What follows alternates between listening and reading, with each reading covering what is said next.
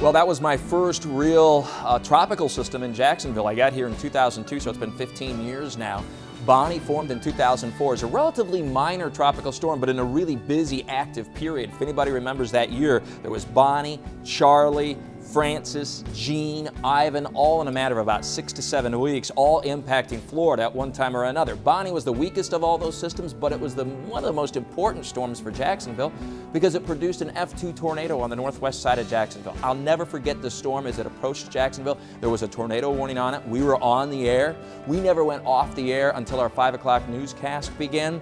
The tornado crossed Jacksonville between 3 and 4 p.m. and in that hour, and as the tornado was doing its most serious damage, we were still on the air. We, CBS 47 and Fox 30, were the only station that stayed on the air the entire time as the tornado approached, as it moved through Jacksonville, and then as it moved away. It was a big career moment for me, and luckily, no serious injuries and no deaths from the tornado. That was the most important thing.